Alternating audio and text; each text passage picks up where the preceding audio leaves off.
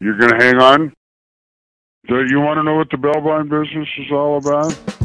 Wow. well, if you're sentenced and you're in prison, you just have your time to do. Listen to this. Herbert Bonds. It's a great thing for me to say. My name's Fred Herbert. I'm a bail bondsman, a licensed bail bondsman. If you got a bail bond, how much would it cost? Lots of different prices. Five hundred dollars. Forty nine hundred. One million dollars.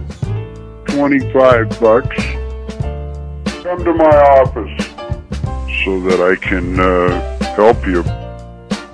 Okay. This is all important. Turn on the TV. Are you looking at my ad right now? How about a t-shirt? I don't know what sizes I still have. Bond, hello. You're talking to my agent, Dan.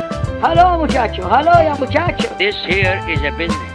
I'm a busy man. Constantly. You need a lawyer? You need toilet paper? You need hashish?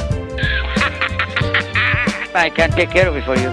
We're right across the street, asshole. In California, Compton, in Macon, Georgia, Missouri, Springfield, in Ontario. Nigger Town. Come over, piece of shit. See the big red letters that say bell bonds and the neon clock in the window? I really do. Nobody can make money. money. Bail bond, but Fred Robert. Nobody can make money on a bail bond except Fred Herbert. Now that's me.